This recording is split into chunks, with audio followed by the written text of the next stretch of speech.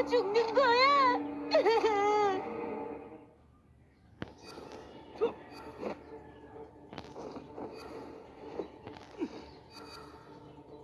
왜 이렇게 늦었어요? 하마터면 잡아먹힐 뻔했잖아요. 내가 처리할 동안 뒤로 빠져 있어.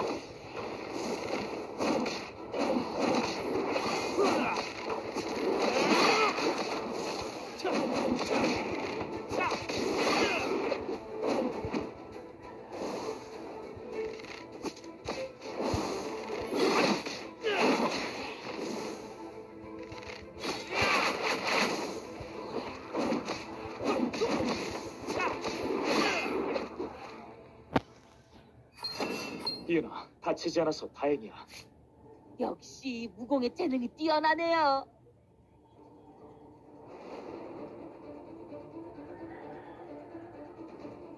저기를 보세요. 암구라예요. 그래, 내가 다 걱정 마세요. 너희 따위에게 시간을 뺏길 순 없다.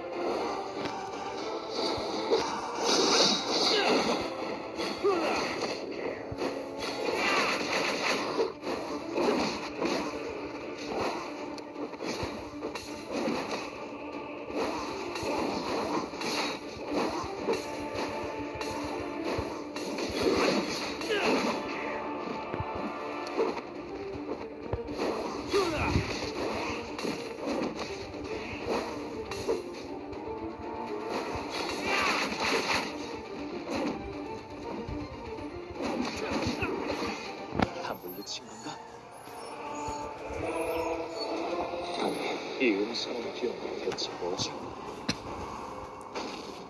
하찮은 인간으로 이 비극을 어지럽히고도 무사히 빠져나갈 생각 이은아, 암구라 수행 먼저 사부님께 갖다 드려. 네, 조심하세요.